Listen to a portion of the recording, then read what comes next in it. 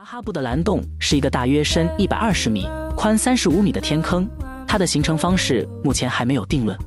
但显然，只要与西奈半岛相关，就少不了与神迹相关的传说。与地球上所有其他蓝洞截然不同，达哈布的蓝洞被认为是由一块从天上坠落的陨石落在海岸边的珊瑚礁上所形成的。最特别的是，在达哈布蓝洞侧面大概五十二米深的地方，有一个名为拱门的珊瑚礁隧道。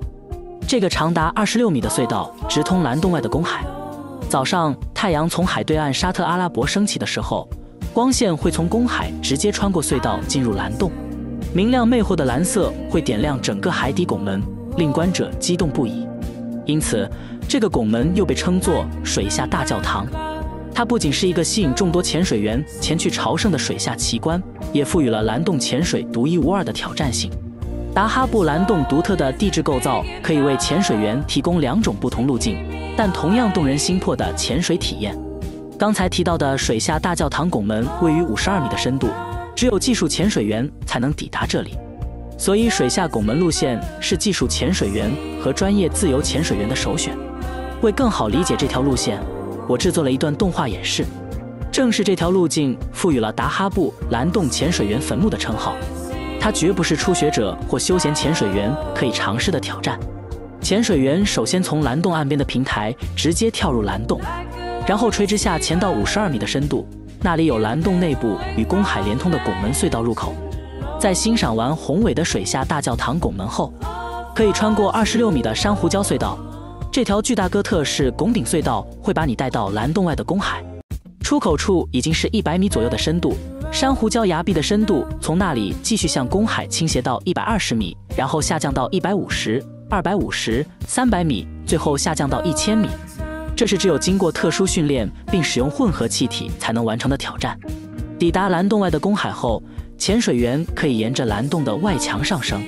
然后翻越马鞍形的珊瑚礁回到蓝洞，在水中做完安全停留后结束潜水。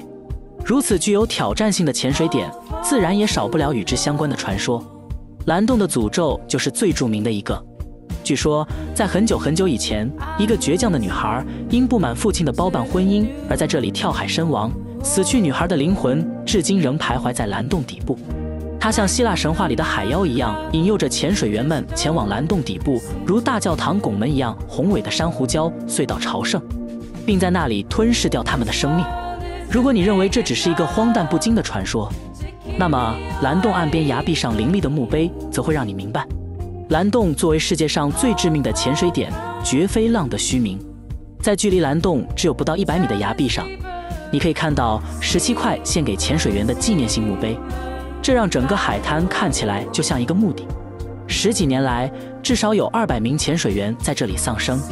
其中大多数遇难者是训练有素的技术潜水员、潜水教练以及水下摄影师，只有少数遇难潜水员的遗骸被打捞上来。大部分遇难潜水员的遗骸，连同他们的装备，还沉在蓝洞的底部，因此蓝洞是名副其实的潜水员的坟墓。